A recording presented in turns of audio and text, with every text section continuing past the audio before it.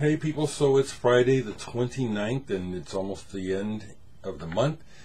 I'm just sitting here, decided, well heck, I'm not doing nothing. I'll go ahead and put up the uh, put up the camera and say hello and just um, vibe for a few minutes. Um, this weekend is Halloween and I have been over Halloween for years now. I don't really get into it.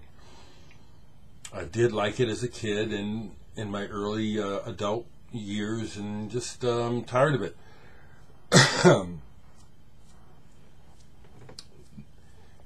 Quite frankly, my point of view is that life is so utterly strange right now that Halloween isn't even, it doesn't even look like fun to me. It's I know that it's in essence if you just you know if I look at it very selflessly, it's all about this thing for the kids to have some fun. That's cool, but just everything is just so strange that it just. I don't enjoy it. Okay, so let me just tell you about some records that I played last night, or try to. And then one that I just pulled because I wanted to show it, because um, I was thinking about it, but this is a group or a collective of people in out of Colorado, I think. Candy Claws. It's the only thing I have by them, but this came out in 2010.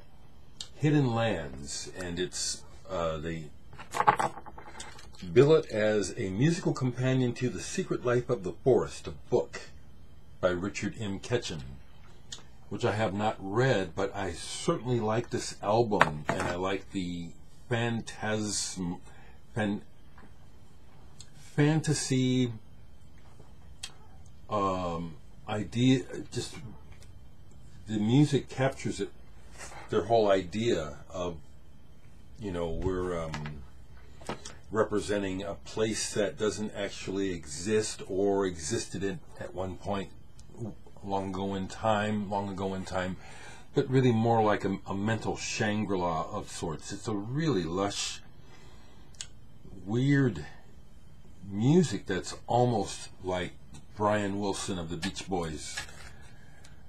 Almost soundtracky. Kind of strange. I really like this album, Hidden Lands. I hadn't pulled it in a while. It just things will pop up in my head or something will create a reference where I'll decide to play something.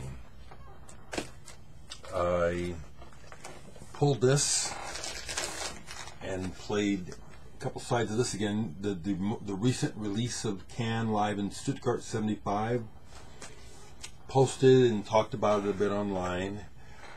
Um, this is really good, and it really does capture the magic of what Can did they were a band that played. They were people who played together and were able to create. It's something that people can do. It's nothing that is really something hugely special. It's something that every all musicians can do. Get together and play and create something uh, that's larger than the parts. Um, but some combinations and at some points in time magical special things happen. And uh, this has a uh, magical aspect to to it. It was a good night for them. It was. Good playing. It um, prompted me to pull um, some bootlegs I have by Can to re-listen to. And here's a good one. 1976 in Hanover um, Michael Karoli on guitar is singing. They don't have. Uh, Damo is no longer with them at this time. This is really good playing. Uh, it's a boot, but the, the sound quality is decent. Here's one I'm about to play. I haven't got to it yet, but another uh, boot. Auf der Einbahnstrasse, live in Köln. Both of these have come out in several configurations over the years CD, different bootleg copies under different names. But, um, Can, what a band. Here's an interesting um, I believe it's. I believe the band is Italian. And a very cool, very cool one album, Hero. Hero. It's it's. It goes under prog, but it's it's more than that. That's just how people always tag this shit. Um, it's musically and um, atmospherically what I really like about it. I don't know what they're singing about. Not really drawn to the vocal vocal style either so much, but it does a lot of shifting musically and um, the um, general playing. Just I guess if anything, a reference could be Van der Graaf Generator for me, among others. But it's really pretty um, unique sounding to me. Hero This goes back to the 70s, I'm pretty sure. This is a reissue, by the way. One of those hard to find records. Here's one that I bought from Almost Music back in the day. Knew nothing about it, and I took Brad's recommendation on it. He thought I would like it, and um, he's right. Dominique Lawalree, First Meeting. This looks like this was probably a one-off um, private release originally, and then was picked up, rediscovered. Uh, it's like a solo musician playing uh, keyboards primarily.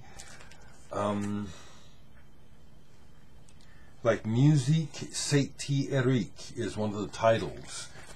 And that's really what you get is this guy kind of doing his take on an Eric Satie approach and then there's other pieces that are.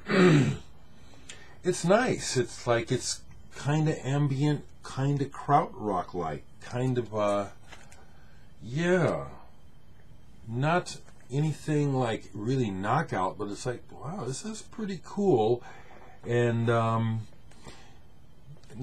much love to the guy, but he didn't do himself any favors with that. Um, nondescript cover. But again, sometimes I think this is the whole idea of these covers, which is, you know, this isn't at all about some sort of image or what we think people want to or need to see. I just made this record and here I am and here it is. This is really pretty good. An album that I bought that because of the uh, first off because of when I first bought it was because of the association and when I first listened to it, it was kind of hard to get through. Kind of like Tony Conrad's um, thing he did with Faust, which I've had copies of and sold. But last night I really got it and um, was able to ride the wave. Takehisa Kosugi, who was with Taj Mahal Travelers. This is a solo album, Catch Wave. It's um, non-official reissue. Uh, these are one. This is another one of those albums really hard to uh, hard to find and expensive when you do. Primarily pieces um, made with drone violin and his voice um, through effects. And um, it really is trippy. It does. It's one of those kind of things where I, I just ha- I had to let go of wanting because that, that we can be like that, all right? I, I think it's a general thing to say that we can listen to music with expectations, or we can like almost uh, subconsciously put expectations on what we want the music to do, and um, when it doesn't do it, then we start to disengage. And that was part of my what I experienced with this, and it was like, no, let go of that and just go with what's happening here. And when I, more often than not, when I'm a lot, when I'm a, when I do that with whatever I'm listening to, it's a rewarding experience. Really happy actually to have the day off today. No recordings, no rehearsals, and um, uh, our our hospital beds are at 92% capacity in my uh, county right now. So the reality is that things are still strange so I'm not of a mind to be going out, running around, shopping, and doing shit. I'm staying at home safe today. I started to play this last night and I wasn't in the mood. I'm going to try again today. Gruppo Sportivo. Buddy odor is a gas, which is uh, play on words, body odor. Um, Dutch band connections to um, Super Sister Robert Jan Stips works worked with them. Have a couple of their albums, and my band Norman and the Rockwells. We covered one of their songs. Girls Always Know, I think is the name of the song. It was a lot of fun to play. So this is a um, there's a humorous aspect to the entire approach and sound of the um, band, but very good playing as well and imaginative arrangement. So I'm keeping this out and try to get back to it. Played one side of this as I saw, as I do looking at the uh, music news worldwide.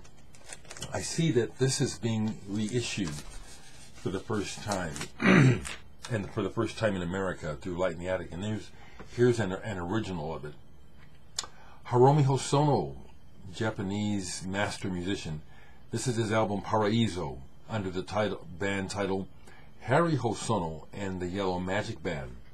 This is the album that led to him forming Yellow Magic Orchestra. He hired Sakamoto and Takahashi as session players on this.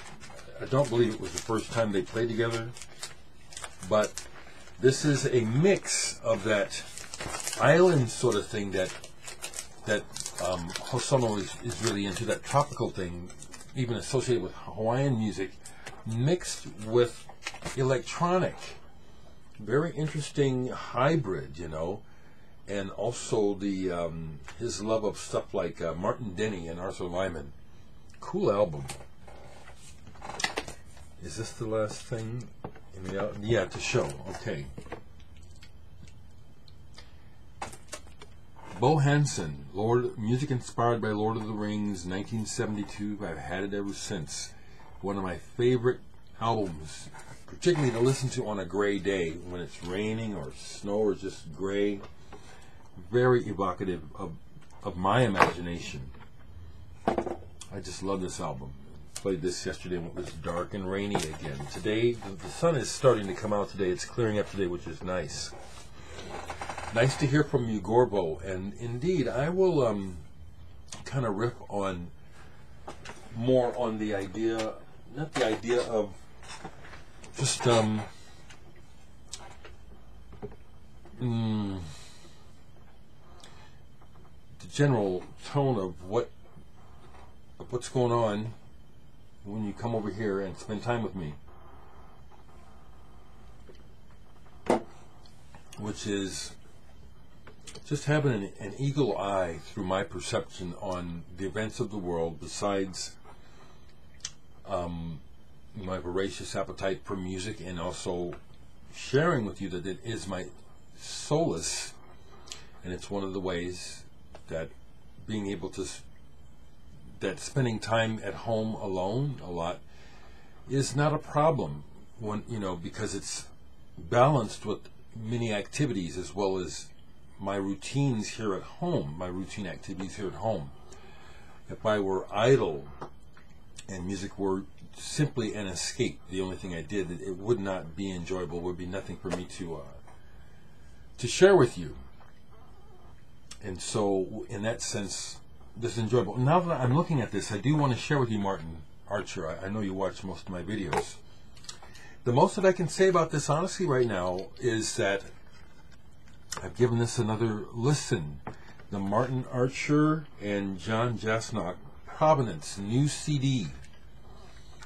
I understand what you folks, what you guys were doing. It's a duet guitar, uh, guitar with um, saxes, flute, bass harmonica. The approach immediately brings to mind things like AMM, Derek Bailey, Evan Parker. That English school of free improvisation. I know how to appreciate that stuff. I do. And that's how I approach this, which is just have to be in the right time to be, again, open to just letting their process um, connect with me. And uh, this was the second time that I started to listen to it.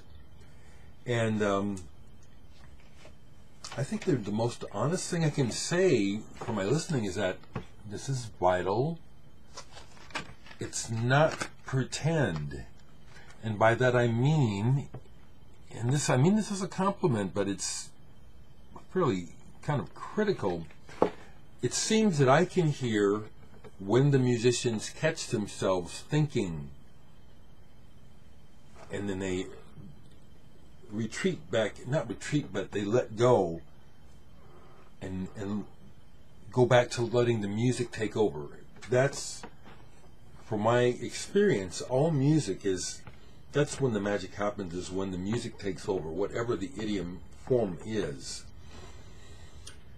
so i'm going to go ahead and sign up here i could make i could comment for hours about all sorts of stuff. You know, I, I keep up with happening, what's happening in the modern world of pop, and so I'm aware of these new things that are coming out. Um, uh, the uh, international pop hit, uh, I can call it up, which again, it's like I uh, you know, it's for young people. I'm not a young person, so but I wanted to, I want I want to know what's going on. Let me just see if I can find it right quick. I was watching, uh, and then some other uh, young, yeah, Maine Måneskin begging. They were on Jimmy Fallon, so I watched that so I could see what, you know, what's going down. I notice. Okay, I'll get this before I go the mumbly vocal style that is a from my perspective an aspect of how I think the industry like always are taking that and exploiting it. And I, the reason why I say it that way is because when I hear it I'm talking about people who are like really copying Billie Eilish and shit like that, as well as the mumbly rappers, it's annoying, you know, and it's like that's what they want. I'm an, I'm, you know, I'm in, I'm in my sixties. I'm an old wrinkled fuck, you know, to to young people, and so the industry oh, always loves to exploit those aspects of youth culture and that's what I hear in these pop records. some of them they seem like production wise they're kind of interesting, but mostly it's just exploitive crap, as, as always in the mainstream. So that's my comment about some stuff that i I'm always checking out the mainstream. Okay, have a good weekend.